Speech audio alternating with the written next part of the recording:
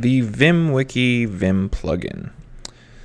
So VimWiki is pretty awesome because you can create a wiki type area of having a bunch of linked documents with notes and linked to each other and it's all based off of uh, relative referencing of documents based on a consistent naming.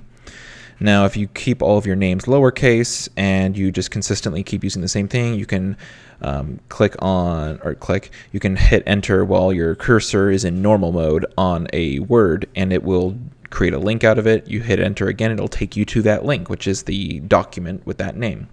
You can hit backspace to go backwards through your history. Now, previously, what I have done is um, I used to have my VimWiki right here, and I used to have, um, I need to change these two, but I used to have index as a capital letter I index, so it was always at the top if I was going to manually go here.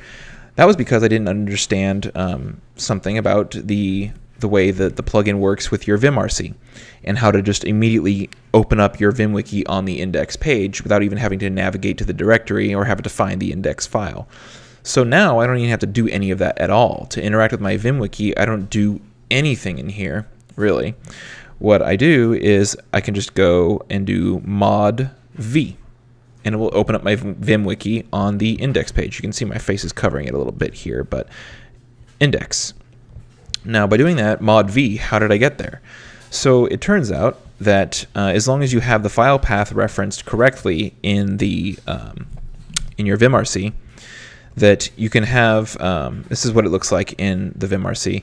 Uh, I can list my path, which is vimwiki, and I have the V and the W capitalized uh, in my home directory. So you have to make sure that this casing, this file path works. And then as long as your index file is lowercase, it will then find that index file and open it up with your mod v uh, key, I believe. I don't think there's anything else I changed for that. But doing that, let me actually open up my vimwiki with mod v and now I can go enter and I can go to different different files and area uh, areas and I can find different things that I need. Backspace to go through my different entries and look at different stuff. Yeah. So that's something new I discovered about VimWiki is that I don't need to have my index file capitalized to have it at the top of the directory because I don't even need to go into that directory anymore.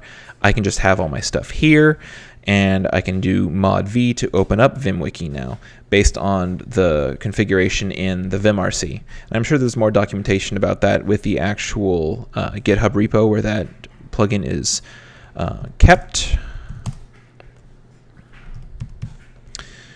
Um, which is just VimWiki. So VimWiki, VimWiki. Let's just see here if we can find any additional documentation.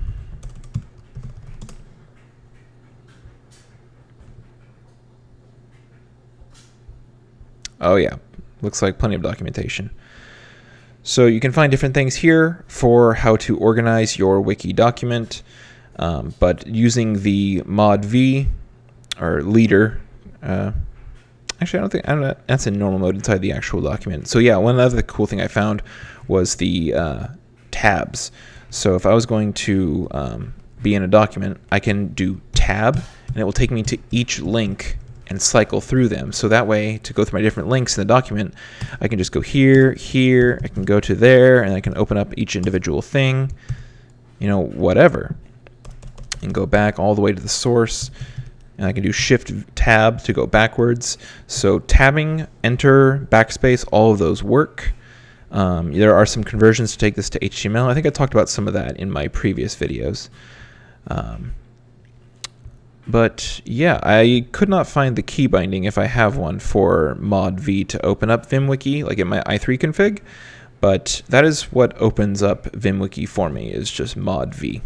But yeah, so you don't need to have uh, your index file capitalized like I did to find it in the directory because once you have it key bound to run VimWiki, uh, boom, it just opens. Um, actually, I think it might actually, it might also be in uh, VimRC maybe. But anyways, VimWiki is awesome. I still use it for uh, keeping all my notes for different areas and subject matter.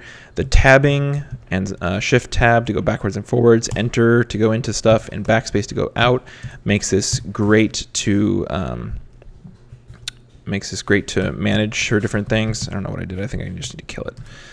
Um, it makes it great to maneuver through stuff in here. Backspace, yeah. Uh, VimWiki is still a great and powerful thing, and you can still export it to HTML. I haven't done that before, but I digress. I think it's really, really interesting and useful. So, VimWiki, new knowledge.